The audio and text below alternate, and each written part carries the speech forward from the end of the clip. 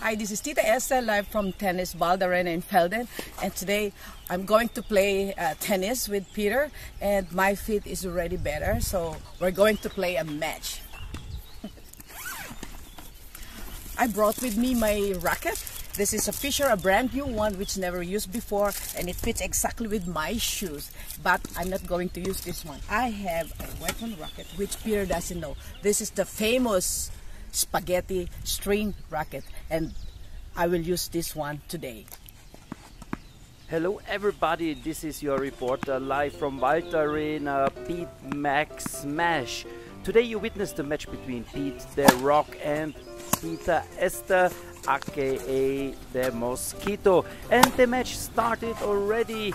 Both of them are really want to win this match today because they want to have this title they are really longing for.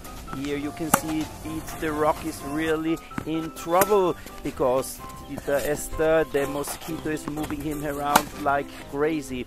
Just look at her, she real, really looks in top shape. Oh, this ball was just good, so lucky for her.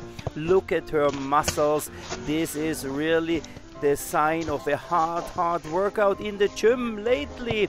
And this forehand, so much power. We didn't see this before from the Mosquito. And the backhand, oh yes, the power is amazing. The Rock really has a hard time to win today, I tell it to you frankly. And here, that's why she's called the Mosquito. Have you seen all of the sun at the net? And then she's giving him troubles. There comes the smash, maybe the match point. No, he can still save it. And here, here comes the deadly yeah. volley. And the Mosquito wins again. I'm sorry for Peter Rock.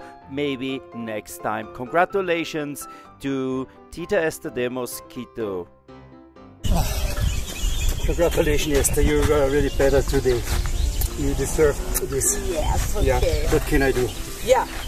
Guys, that was tennis power and don't forget, always be a sensational.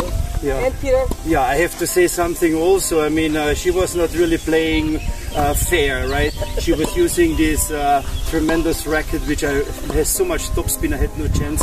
And second, and this was very important for me, she told me that if I don't let her win, I have to stay outside the Colombo what can I do? Love my darling.